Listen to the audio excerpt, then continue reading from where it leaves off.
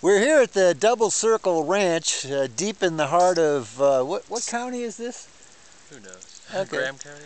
With uh, Ryan Dressel? Dressler. Dressler. And uh, Ryan has just found this uh, hole here, or actually air came out of it first, and now we're plugging it up because we got about, oh, maybe half a mile of line to get the air out of because uh, these cows are thirsty. You got anything to say for uh, your your fans out there, Ryan? Not much. Just keep watching. Okay. Tune in next week for another fun-filled adventure.